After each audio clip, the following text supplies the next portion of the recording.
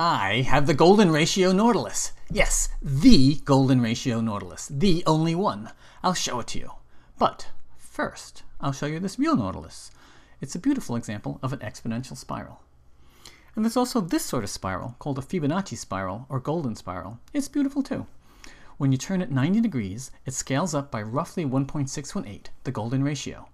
So it scales up by that to the fourth power every full revolution, a factor of almost 7 every revolution. Look, 1 centimeter, 7 centimeters. So the equation in polar coordinates is r equals 7 to the number of revolutions. That's an exponential curve, just like y equals e to the x is the exponential curve in Cartesian coordinates. So it's clearer if you call it an exponential spiral, and that's what I call it, even though others slavishly follow convention and call it a logarithmic spiral. But that's a different rant. Now, measure a nautilus and you'll see it grows by a factor of roughly 3 every revolution. See? 1 centimeter, 3 centimeter, 9 centimeter.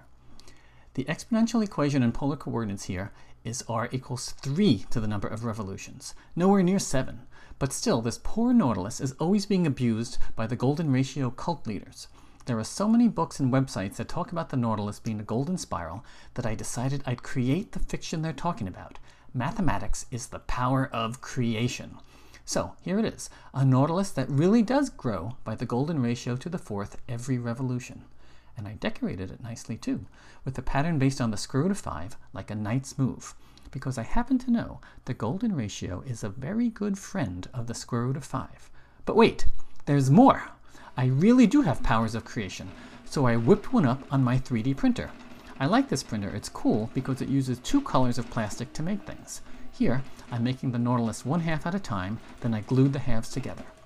So here it is, the golden ratio Nautilus you keep hearing about, the only one in the world.